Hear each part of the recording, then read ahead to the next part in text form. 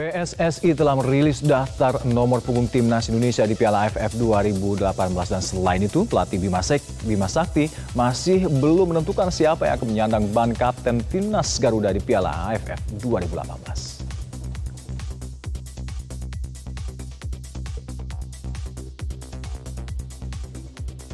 Tim nasional sepak bola Indonesia akan melakoni laga perdana Piala AFF 2018 melawan Singapura 9 November mendatang.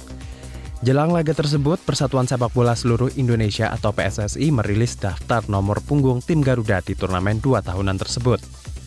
Namun tak ada kejutan dari pembagian nomor punggung di Timnas Indonesia kali ini.